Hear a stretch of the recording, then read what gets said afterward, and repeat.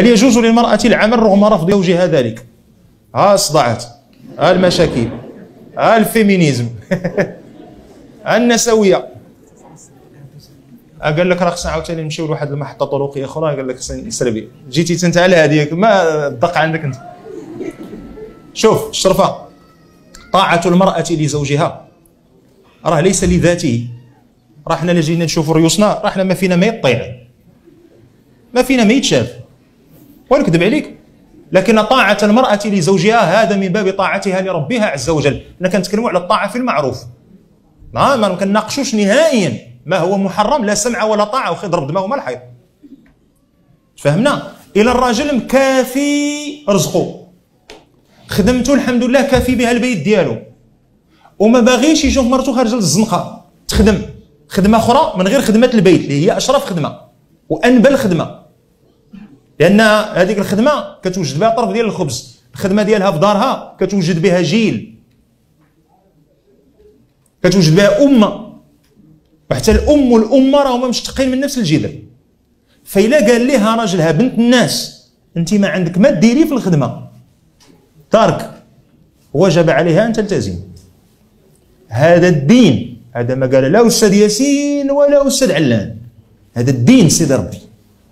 فالمرأة ملي كتشوف راجلها اعطاها واحد الأمر إما في دائرة المباح أو في دائرة الواجب.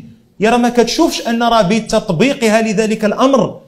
راه لا دارته على قبل راجلها راه غادا تزيد شي شوية ما ما تبقاش مستحملة راسها راه تزيد شوية طلب طلاق لكن ملي كتشوف راسها أنها تتقرب إلى الله بتطبيق ذلك الأمر والله تفعله وهي تتلذذ به. فرق ما بين الملائكة وما بين إبليس.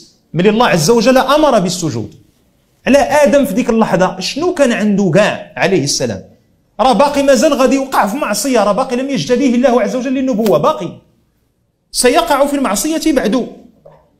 شنو فيه كاع حتى نسجد له؟ والملائكة تسبح بحمد ربها وتقدس له منذ خلقها الله.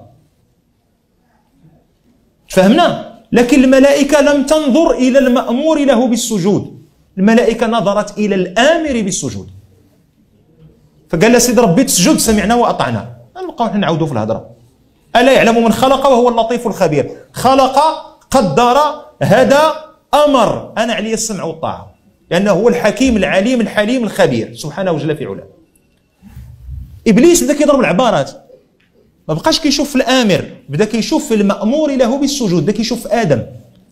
اش عنده؟ اش عندي؟ على مالو باش فايتني؟ واش بدا يفهم عليا؟ والنهار الأول اللي جا هو يطلبني بعد الجواز راه كان سميتو مدروش وكذا. وأنا قلت ليه؟ هو قال لي وامه ما دارتش ليا وأنا أمي دارت ليه؟ والنهار الأول أصلا حنا ساكنين في دار با هو اللي عطانا كذا إلى آخره ما نساليوش. لكن ملي كتشوف أن هذاك الأمر شرعا واش غيضرك؟ واش غادي الا جلستي أنت من هذيك الخدمة؟ واش غادا تخرجي زعما تخرجوا تطلبوا فهمنا هذا هذو هما الأسئلة اللي غنطرحوا واش هذاك الأمر اللي عطاني هذاك الزوج؟ هل ذلك الأمر فيه مخالفة شرعية؟ هذا اللي تيهمني.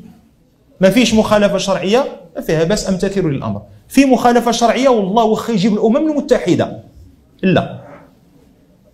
راجل كيقول لمرته لا أنا راجلك وطيعيني. عاد تقول لي لعبه الحجاب وذاك فرع الراس إلى آخره. أنا باغي منين؟ هبطت أنا للبحر نهبط نهبط أنا ومرتي. خصها تهبط حتى هي لابسة اللبس ديال البحر. تبقى لابسه هذاك الفولار ولا شي أنا قول لي ضرب دماغك مع الحيطة الشريف. فولار والله لا حيدته حجابي والله لا تنازلت عليه. ولا ما عجبكش الحال تلاقينا خوت تفارقوا خوت. آه تلاقينا خوت تفارقوا خوت. حيت هذا الذي يأمر امرأته بالسفور والتبرج والسفوح أو السفاح هذا راه لا يستحق أن تبقى المرأة تحته آه راجلي وما لقيت كيفاش ندير ليه؟ ملي خرج لك ولادك ديك الساعة ملاحده سلمي عليا.